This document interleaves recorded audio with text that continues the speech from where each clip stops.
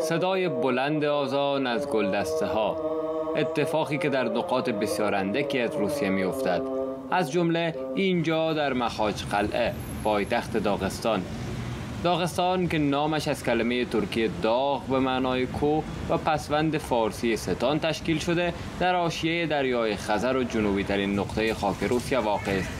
با جمعیتی نزدیک به سه میلیون تن عمدتا مسلمان و متشکل از اقوام گوناگونند.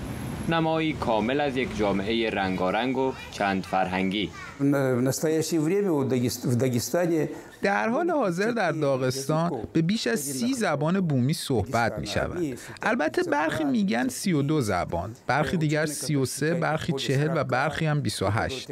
اما درستتر این است که بگوییم نزدیک به سی زبان بومی مردم داغستان اینجا کاربرد دارد. زندگی اجتماعی در داغستان ترکیبی از اصول اسلامی و آزادی های روسی است. از پوشش متفاوت زنان و رعایت اجاب گرفته تا پرشور بودن صفهای نماز. آنچه نشان از گستردگی اسلام در اینجا دارد. دین رسمی بیش از 82 درصد ساکنان. در داغستان آزادی انتخاب هست و با احترام به انتخاب شما برخورد می کنند. شما می‌تونین با هجاب بیرون بیاین یا بدون هجاب. قطعا کسی واکنشی نشون نمیده.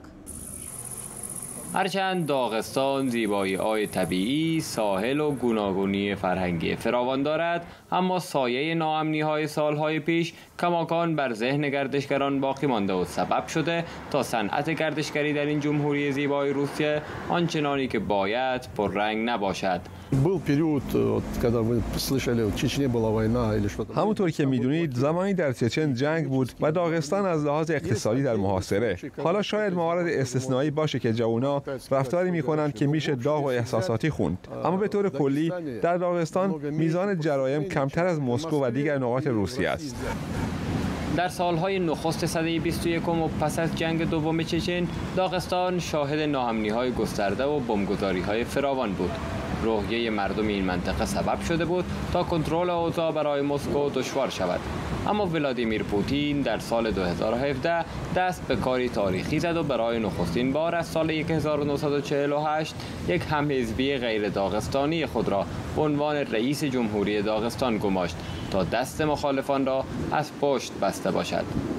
هرچند داغستانی ها مردمی با روحیات متفاوت هستند و خودشان را تافته جدا بافته نسبت به سایر مردم روسیه حساب می کنند اما با وجود این تفاوت ها کماکان سایه حضور لنین اینجا برپاست و قدرت بی حد و اصر کرملین هم برقرار. مصدق پارسا ایران اینترنشنال مخچ قلعه